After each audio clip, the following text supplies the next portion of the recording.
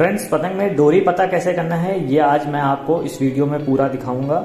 इससे पहले मैं छह पार्ट बना चुका हूँ, जिसमें मैंने हाउ टू मेक काइट में इससे पहले जो भी प्रोसेस मैंने अभी तक इस पतंग के ऊपर करा है, इस फर्मे पे करा है, वो मैं आपको दिखाता चल रहा हूँ। तो आज इस वीडियो में डोरी, पत्ता, पिट्ठा कैसे सब लगाना है, सही प्रॉपर तरीका क्या है, ये आज इस वीडियो में आप पूरा देख सकते हैं। तो ये सारी चीज़ें मैं पहले दिखा चुका हूँ, इसलिए बार बार चीज़ों को नहीं बताऊँगा, थोड़ी सी डोरी खोल लेते हैं। आपको इस तरह से डोर को रखना है और जो ये पतंग के नोक का कागज़ है, आपको यहीं से फंदा बनाना है। तो इस तरह से आप घुमाएँगे, दो या तीन बार घुमाएँगे, उसके बाद आप दो उंगली से डोर को यूँ पकड़ेंगे और ठड्डे के इस तरह से गोला बना के आप खींच देंगे। तो ये देखिए, यहाँ पे गीठा लग जाता है। अब उसके बाद आपको यहाँ पे किनारे, डोर फंसानी है। दो यहाँ पे फंसाने के लिए यहाँ पे कट देना होगा। कट के लिए आप चाकू का इस्तेमाल या कोई भी धारदार चीज़ का इस्तेमाल कर सकते हैं। और इस तरह से पकड़ेंगे, इस तरह से हल्का सा आपको कट देना है, जिससे आपकी डोर रुक जाए। कट देने के बाद आप डोर को पकड़ेंगे और इस कट में फंसा देंगे। डोर को हल्का सा टाइट रखना है, एकदम ढीली डोर नहीं होनी चाहिए। अगर ढीली है तो आप यहाँ से इसको थोड़ा सा खींच लेंगे तो डोर टाइट हो जाएगी।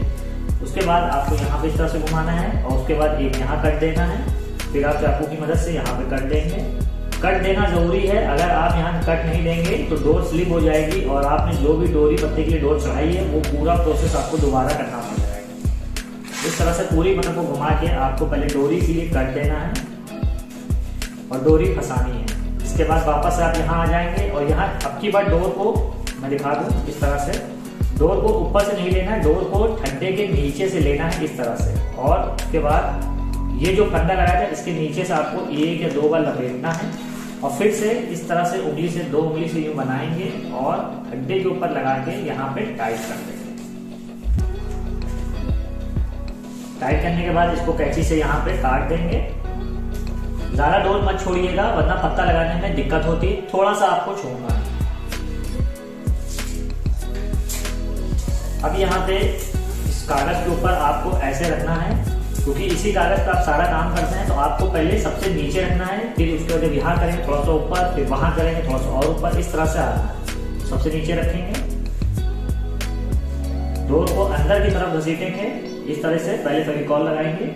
फेविकॉल को हल्का हल्का लगाना है।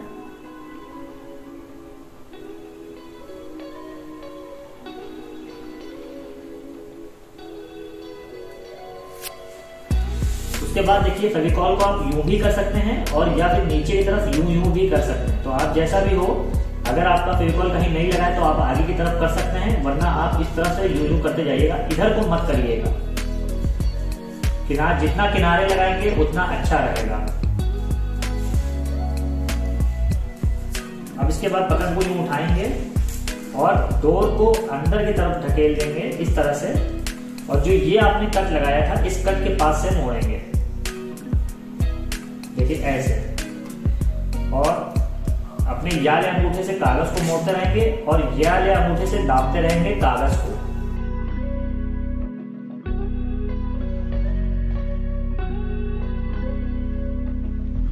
दाबने के बाद आप फिर से इस कॉटन का इस्तेमाल करेंगे और कस के दबा देंगे।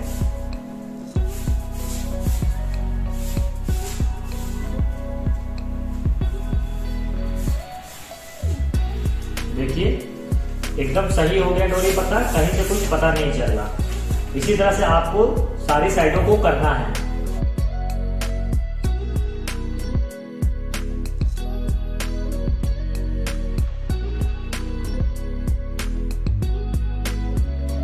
तो आपको थोड़ा सा उठा के कपड़े को इस तरह से डालेंगे और यहाँ पे दाब देंगे।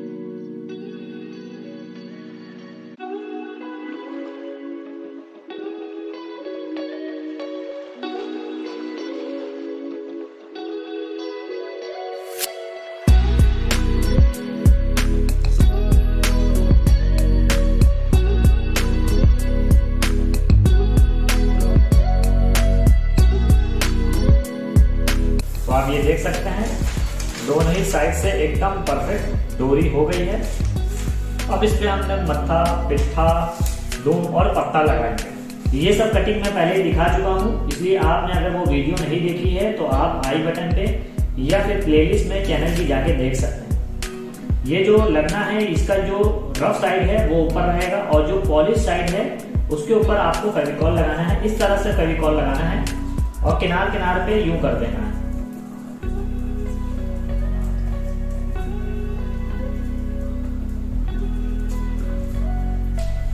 देखिए रफ साइड ऊपर को रहेगा पॉलिश साइड पे फेविकॉल लगेगा।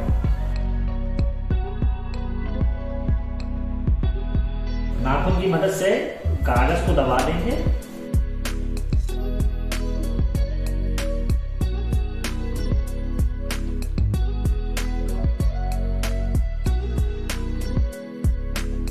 और मैं एक चीज़ और बता दूँ, जब पूरी पतंग फिनिश हो जाती है तो ज़्यादा खूबसूरत दिखती है। जब आप बनाएँगे तो हो सकता है उस वक्त खूबसूरत ना दिखे। ये लगाएँगे और ये लगाएँगे।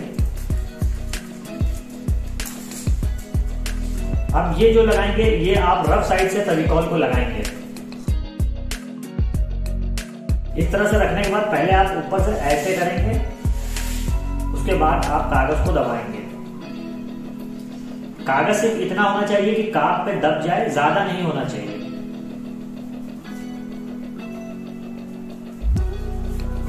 देखिए बस इतना ही है कि काप पे दब जाए।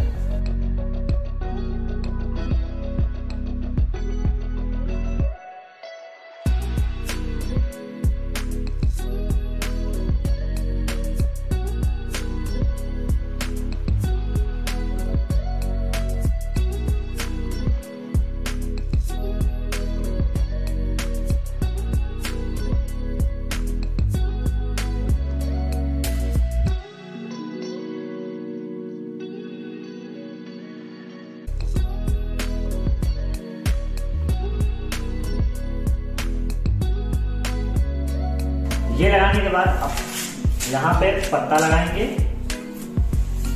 पत्ता भी मैंने आपको प्रीवियस वीडियो बताया था कैसे कटिंग करनी है। सारी कटिंग जो थी वो मैं पहले ही वीडियो में बता चुका हूँ। अगर आपने अभी तक वो वीडियो नहीं देखी तो देख लेंगे। इसीलिए मैं डायरेक्टली हर काम को कर रहा हूँ, क्योंकि ये सब मैं चीज़ें पहले वीडियो में बता चुका हूँ। पत्ता जो पॉलिश साइड है, जैसे ये पेपर है, वो साइड ऊपर रहेगी और जो रफ है, उसके ऊपर फेविकॉल लगाएँगे फेविकॉल लगाने के लिए फिर से पेपर का यूज़ करेंगे। इस तरह से पत्ते को रखेंगे। और आपको जो ऊपर का पत्ता है, उसमें बस ये फेविकॉल और ये और ये फेविकॉल लगाना है। पूरे पत्ते पे फेविकॉल नहीं लगाना। है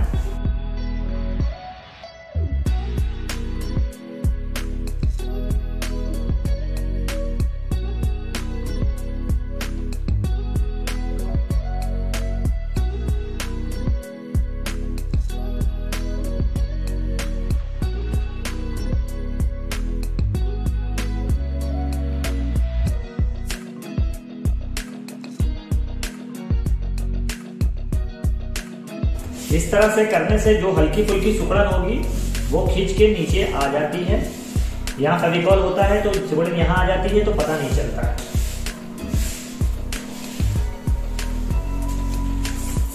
अब यहाँ पे दुब लगेगी। दुब की भी कटिंग हो चुकी है, ये सब मैं आपको पहले ही दिखा चुका हूँ।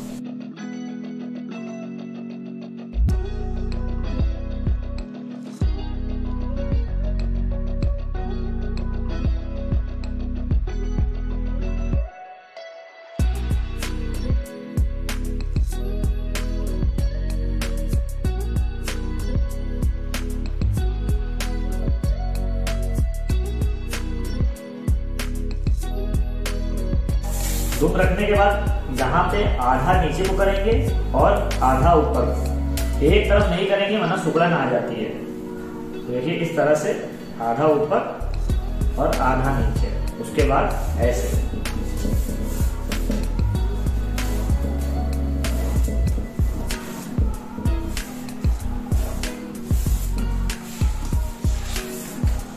अब यहाँ पे लकड़ी लगाएँगे।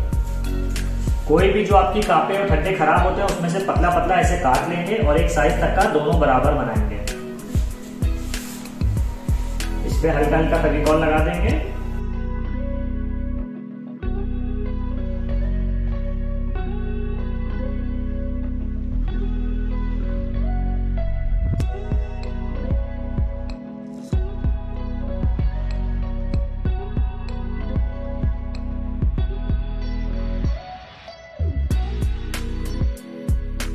पीछे का पता लगाएँगे जिसमें पॉलिश साइड पे आपको फेविकॉल लगाना है।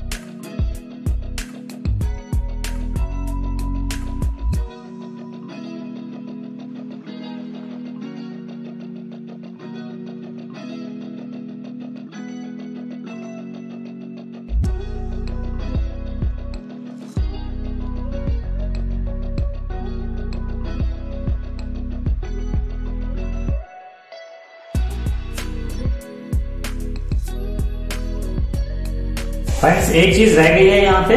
थोड़ा सा आप फेविकॉल अपनी उंगली में लेंगे कुछ इस तरह से। और ये जो साइडें होती हैं, ये आप देख सकते हैं, यहाँ पे आपको लगाना होगा। तो इस तरह से कुछ लगाएँगे। इस कागज़ को नहीं डालेंगे तो हवा तेज में ये फट जाता है।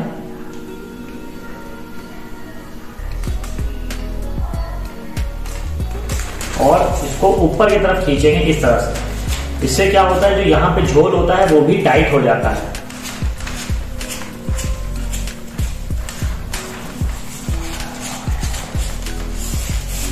इसी तरह से आपको दूसरी साइड को भी करना होगा।